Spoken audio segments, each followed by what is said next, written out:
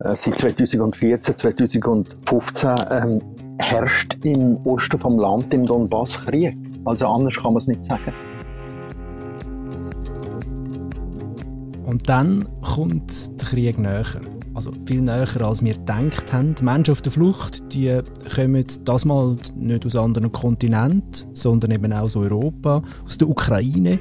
Ähm, der blutige Krieg von Wladimir Putin zeigt, dass das äh, Frieden kein Dauerzustand ist und dass man sich immer wieder dafür muss einsetzen muss. Mit dem Fokus auf die Ukraine reden wir mit dem Klaus Petrus aus der Surprise-Redaktion. Hallo Klaus. Hallo.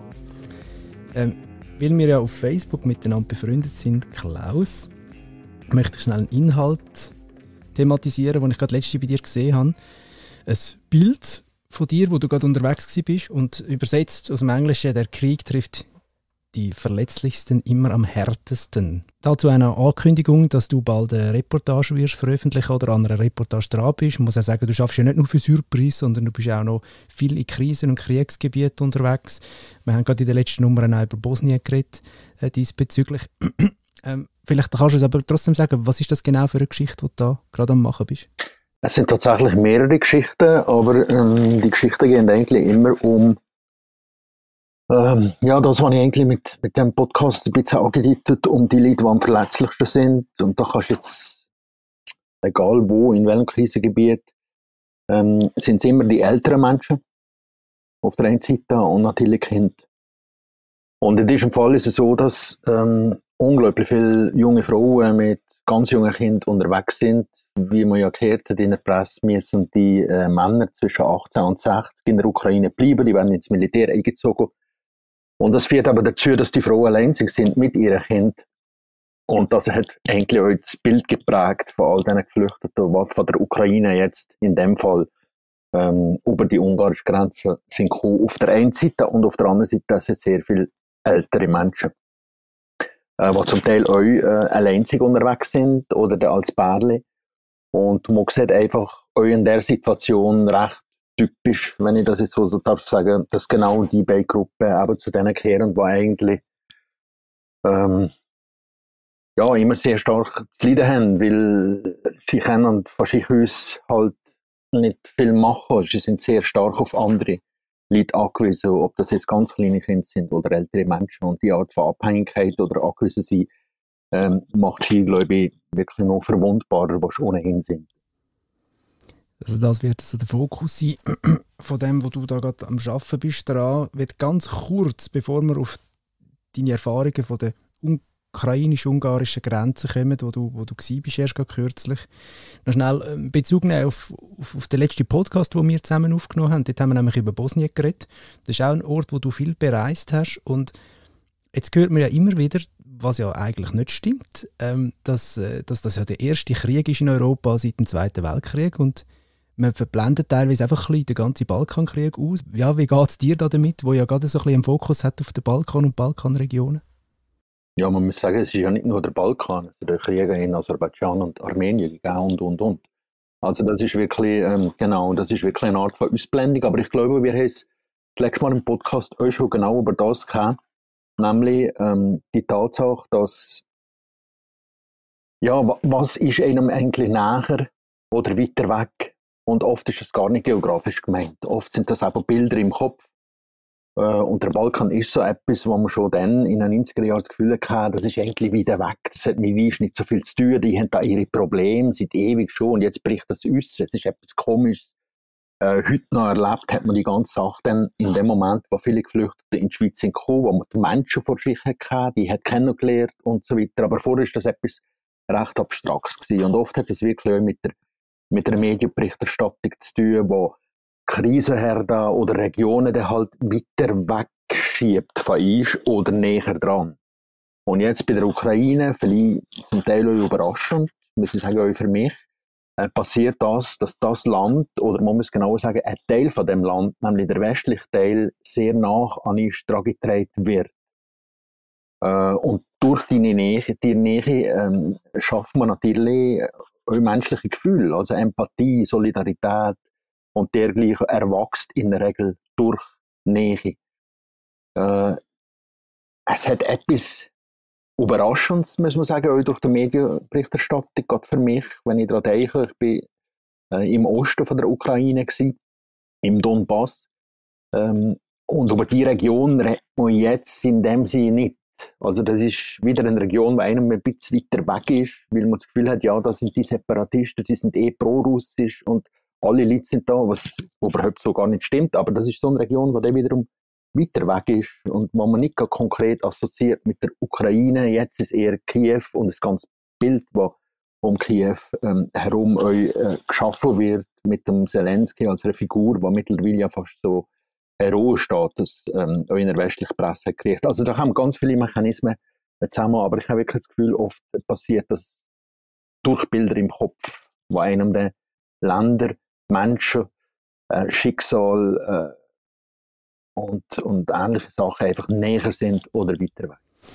Das ist ja genau dein Fokus bei deinem Arbeiten, wenn ich es einmal richtig verstanden du, du bist ja genau der, der vor Ort geht, um mit den Menschen zu reden und gar nicht immer so die geopolitischen Noten irgendwie immer reinbringen sondern auch wirklich mit den Menschen vor Ort zu reden.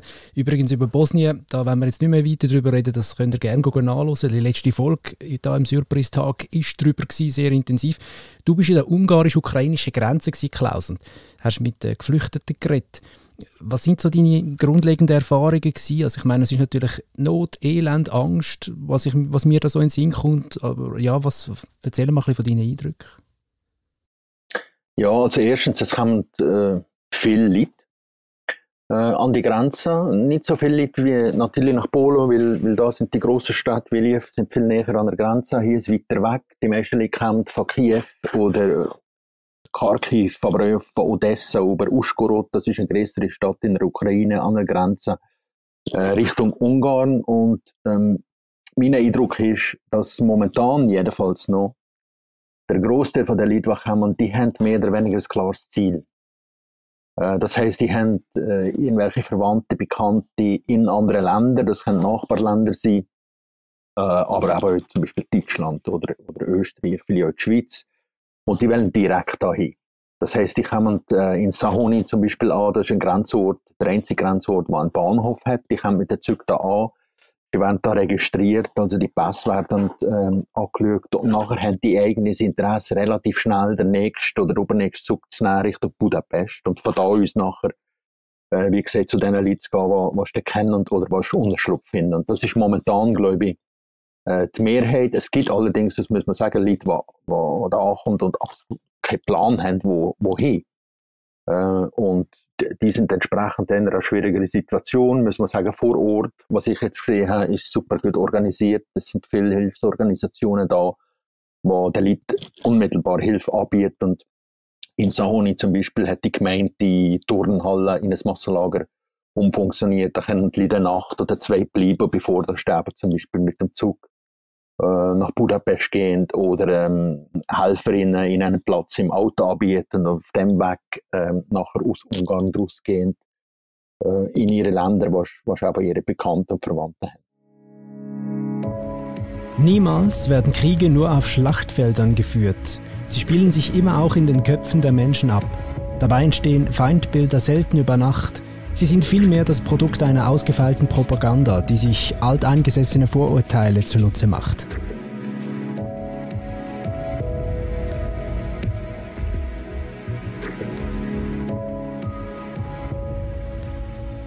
Es gibt ja viele, die jetzt auf Polen gehen, an die polnisch-ukrainische Grenze. Warum bist du an die ungarisch-ukrainische Grenze gegangen? Also äh, es gibt äh, einen, einen Plattengrund und, und, und einen, der vielleicht ein bisschen ähm, äh, fundierter ist. Der Plattgrund ist genau der, was du sagst. Es ist unglaublich viel Schuhe in so einer Poli äh, polnischen Grenze. Äh, und es gibt auch ganz viele Berichterstattungen. Weniger ist berichtet worden von der ungarischen Grenze. Das ist der eine Grund. Der andere Grund, ähm, jetzt schon, schon angetitelt, ähm, der Balkan ist für mich eigentlich so zum Schwerpunkt geworden und ich habe oft die, die Flüchtlingspolitik gerade in Ungarn äh, Serbien genauer angeschaut, bin auch immer und immer wieder vor Ort gewesen. und mich hat einfach auch interessiert, äh, ja, wie geht ein Land, wo wie Ungarn, jetzt in den letzten Jahren nicht geglänzt hat durch, ein, durch eine sehr freundliche Migrationspolitik mit der Situation, mit der Akutsituation um. Und es ist tatsächlich so, dass, dass da schon eine gewisse Widerspruch gibt, wenn man so will sagen. Der Orban hat sich an diesen Grenzorten äh, gezeigt, der Ministerpräsident von Ungarn, und ist sehr, sehr offen gewesen. Äh, hat die Leute auch willkommen geheißen, also wirklich so eine Art von Willkommenskultur äh, an den Tag gelegt. Es ist immer, glaube ich, sehr wichtig das so zu präsentieren, auch gegenüber der EU. Und auf der anderen Seite äh, setzt äh, der Orban und seine Regierung eigentlich die sehr kritisch und bisweilen auch von rassistischer Migrationspolitik weiter fort, wenn es dann um Geflüchtete geht von anderen Ländern, wie eben Nahosten, also jetzt wirklich Pakistan oder, oder also Syrien, Irak, Pakistan, Afghanistan. Und der, wie soll ich sagen, die, die, die zwei Seiten von der jetzigen Flüchtlingspolitik hat mich eigentlich interessiert und das ist ja etwas, was ich in dem einen oder anderen Artikel werde fokussieren mhm. Du hast vorher ja auch ein bisschen erwähnt, was uns jetzt zum Beispiel näher ist und was uns vielleicht weiter weg scheint. Aber da ist es ja schon auch noch spannend. Eben da wissen wir eigentlich so, wie die Politik, Migrationspolitik von einem Land ausgesehen hat über Jahre hinweg und das sehr restriktiv war. Und jetzt auf einmal die offene Arm also was ja im Moment von der Not auch wichtig ist, das will man ja gar nicht in Abrede stellen, aber ist da irgendwie, also erkennt man da irgendetwas an Logik dahinter? Ist das, äh, weil man selber Angst hat, dass man auch könnte zu einer Kriegszone werden, weil es gerade so unberechenbar ist im Moment? Was, was denkst du? Also letztendlich ist es ein bisschen wie eine Zweiklassengesellschaft von, von, du hast mir im Vorgespräch gesagt, das ist ein bisschen wie zwei Klassen von, von, von, von Geflüchteten im Moment, oder? Ja, tatsächlich unter dem Aspekt kann man es anschauen. Es ist schon wichtig, was genau du vorher gesagt hast. Momentan ist, ist alles entscheidend, dass man diesen Geflüchteten aus der Ukraine einfach hilft. Und das ist eine akute Hilfe und, und da gibt es irgendwie gar nichts äh, zu relativieren. Und, und jedes Land, das die entsprechende Solidarität zeigt und, und die Absichten in Handlungen umsetzt, ähm, das ist unglaublich wichtig. Und das ist ein, ein ganz wichtiges, zentrales Zeichen. Ähm, ja, es ist mehr als nur eine Haltungsfrage. Also das, wie gesagt, das, das stellt man überhaupt gar nicht in Abrede. Aber es ist schon so, wie, wie du ja angedeutet hast, ähm, der Unterschied fällt auf und ich kann momentan eigentlich nur Mühe maßen. Also eine Sache ist sicher die, dass, dass es gibt Verbindungen, äh, enge Verbindungen zu wirtschaftlichen Truppen zwischen Ungarn und der Ukraine. Es gibt ja viele Leute in Grenzgebieten, die schaffen auf der einen Seite und wohnen auf der anderen Seite. Es gibt also eine, eine, Art von Verbundenheit, die ist unbestritten da, zum einen. Und zum anderen äh, bin ich selbst äh, effektiv gespannt, was passieren würde, wenn das Ganze anhaltet und aber immer mehr Geflüchtete aus der Ukraine kommen und nicht wissen, wohin. Also wie ich vorher gesagt habe, die meisten, die jetzt kommen, die wissen, wohin und wollen weg. Und ich habe jetzt fast niemanden getroffen, der in Ungarn will bleiben wohingegen, wenn, wenn der, die Geflüchteten kommen über die Grenze und nicht wissen, wohin, dann wissen wir aus Erfahrung, da gibt es da gibt's viele Studien darüber, dass die Leute eher an der Nähe von ihrem Land bleiben und wahrscheinlich müssen flüchten. Weil sie ja die Hoffnung haben, sie können wieder zurück. Oder weil eine gewisse Nähe zum Land ihr auch äh, Sicherheit gibt, Stabilität, also jetzt im psychologischen Sinn, das weiß man. Und dann würde dann natürlich viel mehr Leute aus der Ukraine in Ungarn bleiben. Und dann wird sich natürlich dann wieder die Frage stellen, wie äh, Orbans Migrationspolitik auf das reagiert. Äh, das ist also so ein bisschen ein Knackpunkt. Das ist dann zumal übrigens schon 2015 genauso gewesen. Ähm, der Orban äh, und seine Regierung hat so lange in Anführungszeichen nichts gegen Geflüchtete gehabt, als dass die Ungarn einfach als Transitland, Transitland haben angeschaut und die Leute einfach durch und weg. Aber sobald sich das da vor der Grenze gestaut hat, ist ein Problem geworden und ist, ist, äh, die Migrationspolitik hat also wirklich von einem Tag auf den anderen, kann man sagen, umgeschlagen. Man hat es jetzt ja in der Schweiz auch so ein bisschen mitbekommen, es ist viel gespendet worden, Spendenaufrufe, sogar privat, aber nicht nur Geld, sondern auch zum Beispiel Decken und, und, und andere Sachen. Hast du von dem noch irgendwie etwas mitbekommen an der Grenze? Sind da irgendwie Hilfsgüter angekarrt worden? Ja, hast, hast du da irgendwie so einen, einen Einblick gehabt? Ja, dem ist so. Also es ist... Ähm da kommt eine Menge Bus äh, von irgendwo hin, äh, irgendwo her und die bringen Hilfsgüter und ähm, es ist tatsächlich so, dass sich die, die Güter zum Teil schon stapeln und wenn ich so darf sagen, also das hat wiederum mit dem zu tun, was ich vorher gesagt habe, jetzt äh, kommen die Leute und wissen, wohin das wollen, das heißt, die bleiben da gar nicht, es muss niemand da in der Nacht ähm, wie soll ich in der Kälte ausharren und ist auf den Schlafsack angewiesen momentan wie gesagt, die werden einfach weg, die kommen mit ihren Koffern und, und ähm, das passiert euch alles relativ schnell, nächster Zug und so weiter. Aber es kann sich ändern, natürlich, wenn die Situation anhaltet und wenn äh, die Leute kommen und einfach ratlos da an der Grenze sind und nicht weiter wissen. Natürlich sind dann genau auf solche Sachen, äh, Güter angewiesen, aber zurzeit habe ich den Eindruck, ähm, ist das jetzt nicht unbedingt das Dringendste. Ich kann mir viel mehr vorstellen, dass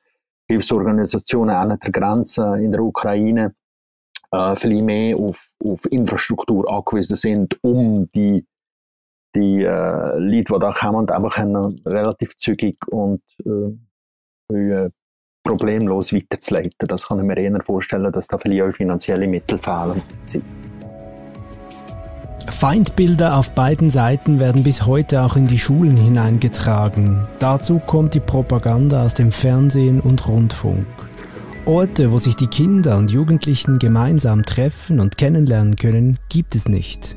Das würde womöglich helfen, Vorurteile abzubauen. Klaus, ich würde gerne noch schnell ein bisschen in die Vergangenheit gehen, auch wenn das sehr aktuell ist und wichtig ist, was wir da besprechen. Aber du hast ja eigentlich die Ukraine schon länger ein bisschen im Fokus. Du hast es vorher erwähnt, Ostukraine. Das ist jetzt eben der Ort von der Ukraine, wo uns eher fern ist oder wo wir die umkämpften Gebiete schon seit Jahren sind oder wo die Separatisten pro-russisch sehr markant sind. Man weiß auch dort, dass äh, ähm, ja, russische Truppen schon länger stationiert sind dort und irgendwie so mein Eindruck, und ich kann es wirklich nur aus der Ferne beurteilen, doch immer also so kriegsähnliche Zustände eigentlich sind. Also der Krieg, der jetzt ist, hat man so ein den Eindruck, der sagt dort schon ein bisschen länger eigentlich so ein bisschen am Tun, immer wieder so im, im Geheimen. Wie, wie würdest du es beschreiben? Ja, ich würde einen Schritt weiter gehen. Ich würde nicht davon reden, dass es im Geheimen passiert und so weiter oder dass es so ein bisschen schwelt. Äh, seit 2014, 2015 ähm, herrscht im Osten vom Land, im Donbass, Krieg. Also anders kann man es nicht sagen. Wenn man da ist, da gibt es Schützengräben, da gibt es Stellungskriege, da gibt es Snipers, also Scharfschützen, dazwischen gibt es eine Grauzone, wo Leute zwischen den Fronten sind oder entlang der Front leben, da wird auf Zivilisten geschossen ähm, das ganze Programm. Natürlich kann man immer über das Ausmaß von Krieg reden, aber es ist eine Tatsache, dass seit 2014 die Menschen im Osten vom, vom Land, und das macht, wenn man alles in den Blick nimmt, fast ein Viertel vom Land uns, unter permanenten kriegsähnlichen Zuständen leben. Das heisst, die haben ähm, keine äh, wirtschaftliche Sicherheit da, die haben keine äh, soziale Stabilität. Viele sind gegangen, die, die zurückbleiben und müssen bleiben, weil sie einfach buchstäblich keine Alternative haben. Ähm, ich habe da im Übrigen auch für Surprise eine Reportage gemacht über eine achtjährige Frau, die in der Grauzone quasi zwischen den Fronten lebt. Eine von noch wenigen Menschen, auch das, vorwiegend alte Menschen, die da müssen ausharren Das ist kein Leben. Und ähm, das ist etwas, was man sicher äh, Zeit einfach auch ausgeblendet hat. Ich selbst habe auch gemerkt im Gespräch, dass viele, die jetzt den Fokus auf die Ukraine legen und denen gar nicht bewusst war, dass es eigentlich die andere Seite da noch gibt, ähm, im Osten, wo, wo der Krieg äh, ja, zum, Alltag, zum Alltag ist geworden. Es gibt, gibt Schulkinder, die da an der Front ähm, aufwachsen und, und für die Sirenen, äh, Schüsse und so weiter einfach zum Alltag kehren, also zum Unrechtsalltag sogar kehren. Und das sind schon Situationen, wo man einfach ein ausgeblendet hat. Ähm, und war jetzt so, äh, der Menge Leute überrascht und sagen, ja, das ist ja in dem Sinne, hat es ja das irgendwie da schon gegeben, ja, tatsächlich ist dem so. Mhm. Er hat einfach ein bisschen ausblendet, also jetzt sagen wir mal aus unserem, aus unserem Blickwinkel betrachtet. du bist tätig und hast natürlich äh, eben nicht, also Geopolitik kann man wahrscheinlich nie ganz ausblenden in Krisengebieten, kann ich mir vorstellen, aber du hast äh, dort sich äh, vor allem mit Menschen unterhalten, die in dieser unmöglichen Situation müssen leben und wir müssen auskommen mit dieser Situation, oder? Ja, absolut. Also du hast, äh, hast recht gesagt, also das Geopolitische, natürlich ist das immer im Hintergrund, aber mich denkt schon, es ist, ähm, es ist wichtig, auch versuchen, die Perspektive von diesen Leuten einzunehmen, also wie das eben das geht, wenn man da hinkommt. Und ähm, ich muss sagen, also die Leute, die man da eben der, am Donbass trifft oder entlang der, der Grenze, in der Grauzone, vorwiegend ältere Leute und schlussendlich ist denen die, die grosse Politik mehr oder weniger egal, weil sie einfach ganz andere Sorgen haben. Also sie müssen ihre Herzen verkaufen, sie müssen, sie müssen probieren zu überleben, sie probieren sich zu organisieren und ähm, da kehrt man so oft der Satz äh, sinngemäß, es ist mir völlig egal, wer der Krieg gewinnt, Hauptsache er hört auf.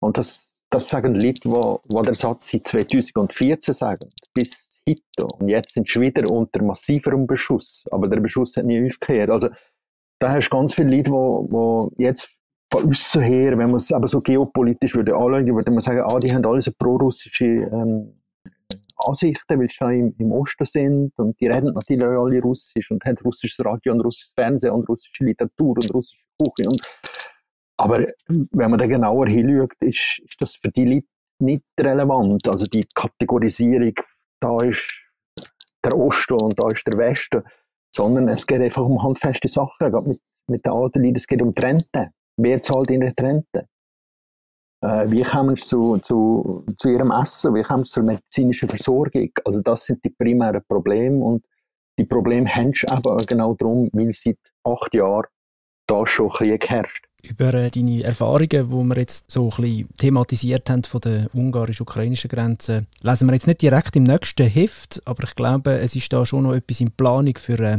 glaube die übernächste Nummer, gell Klaus? Genau, wir werden versuchen, so einen Schritt zwei zurückzutreten und ähm, schauen, was eigentlich so passiert.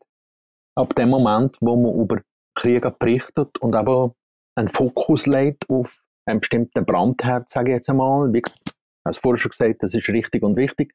Aber oft macht man das gezielt oder unbewusst unter Ausblendung ganz anderer vieler Faktoren. Und wir haben es jetzt gerade von einem gehabt, also der Fokus, wenn man sagt, so will auf Kiew, passiert momentan oft in den Medien, nicht überall sicher nicht, aber oft in den Medien unter Ausblendung zum Beispiel von der ganz, ähm, von dem ganzen Konflikt, äh, der im Donbass seit acht Jahren passiert. Und wir wollen gerne äh, die Möglichkeit nutzen, weil wir ja kein Newspaper sind, einen Schritt zwei zurückzugehen und, und vielleicht da ein bisschen einen anderen Blick drauf zu werfen.